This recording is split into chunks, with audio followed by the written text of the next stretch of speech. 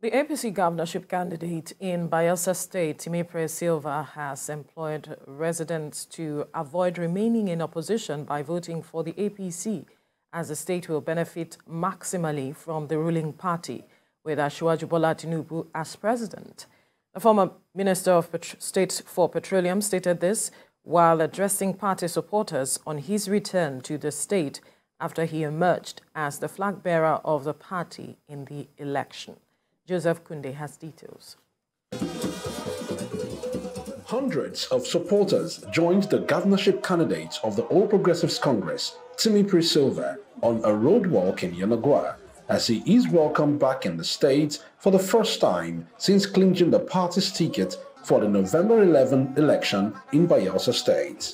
He is received at the state secretariat by other party members. We are forging that relationship with the center because Asiwaju Bola Tinubu, the president-elect, has assured us in Bayelsa State that he is going to partner with the state when we come into office to bring unprecedented development to Bayelsa State.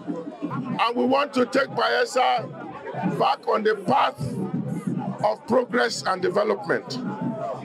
We want to ensure that the flooding problem in Bayelsa State is tackled in the best internationally acceptable way of fighting this menace. We want to ensure that we're able to stabilize power in Bayelsa State because we have the wherewithal to stabilize power. We have the gas in abundance here.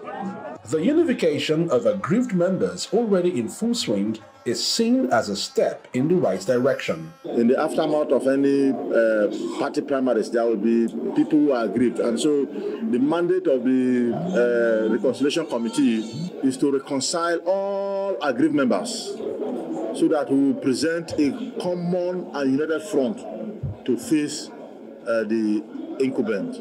Leadership is meant for people that are prepared. And Sylva, with the wealth of experience and exposure, we know Sylva is prepared. He has been there, you know the problems of Bayelsa. Look at Bayelsa, the flooding serious problem we have. Present government here have, have been doing their best, but their best is not enough. By the end of the tunnel, we'll know that victory is very sure. The party believes its massive support base will result in a resounding victory at the polls. Joseph Kunde, TVC News, Yenagoa.